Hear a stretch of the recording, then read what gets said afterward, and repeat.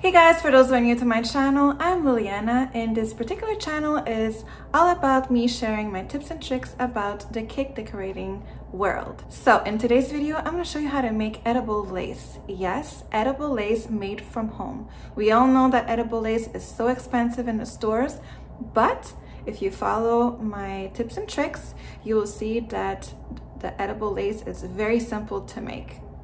So if you guys wanna learn how to make this beautiful cake, well, keep on watching. Also, if you haven't done it yet, I say it in all my videos, you can go ahead and subscribe to my channel. It's completely free. And don't forget to click the notification bell button so you get notified of all the videos that I put up. Without further ado, let's get to it.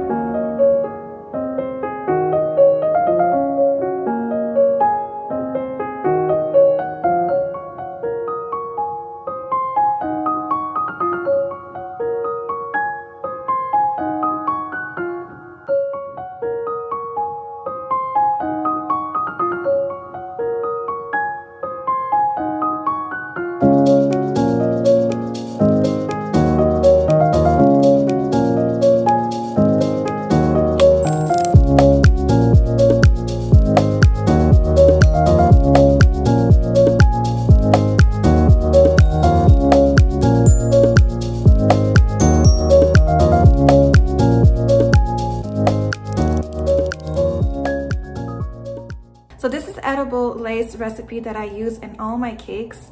I really, really like this product. As I said in the beginning of the video, when you buy edible lace on the market, um, it's very expensive. So if you can do it at home and you have all the products, why not?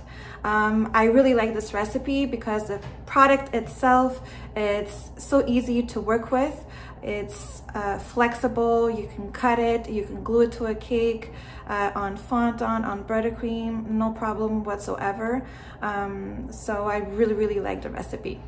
What you need to do is you actually mix all the products together, uh, uh, following the steps that I tell you in the video. You could, at this point, once it's on the mat, um, uh, place it in the oven and bake it for 10 to 15 minutes and spread a second layer and then put in the oven again another 10 to 15 minutes and until it's dry and then you can unmold it or you can leave it at room temperature also overnight until it's completely dry and then you can unmold it. What I like to do is bake it for 12 minutes, spread a second layer, bake it another 12 minutes, and then I leave it at room temperature until it's completely dry because you will see sometimes in the corners dry, in the middle it's not.